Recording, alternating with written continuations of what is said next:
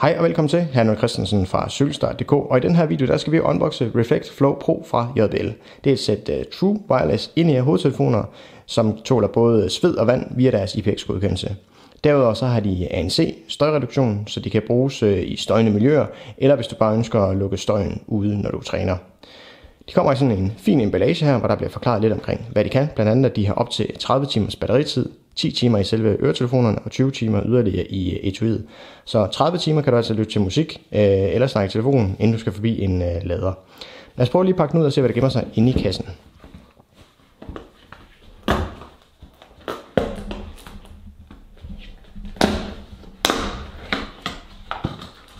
Der er selve lavet i her. Så er der earbudsene. Så er der lidt forskellige kroge og et kabelværk her. Lad os prøve lige at se. Vi starter lige med selve etuiet her. Pænt design. Rimelig øh, nemt og det, sige, det fylder ikke sådan specielt meget. Øh, kan se her foran, at der er strøm på. Så er der USB-C stik her bagpå til opladning i etuiet. Ellers så er det egentlig bare her, man normalvis vil øh, opbevare dem, når de ikke er i brug. De beskytter dem, øh, og så bliver de så lavet op samtidig med. Nem at have med i, i tasken. Selve airpodsene, de fylder heller ikke specielt meget. Har sådan en øh, krog her, som gør, at den sidder lidt bedre fast inde i øret, så det ikke kun er inde i delen, der holder, øh, der holder den fast. Ellers ret øh, klassisk design her, øh, med kontrol herude på, på siderne.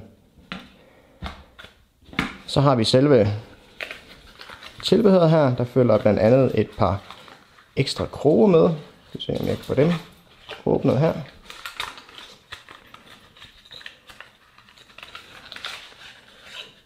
Kroge i forskellige størrelser her, så man kan finde lige præcis dem, der passer i, øh, i ens øh, ører. Samtidig med, så er der forskellige earbuds her, øh, så man også kan, kan finde den, der passer i selve øret. Der er selvfølgelig forskel på, hvor, hvor stort en, en øregang man har, om man vil. Så det er simpelthen øh, forskellige øh, kroge, man kan skifte ud, så man får den pasform, man, man nogle gange passer til en.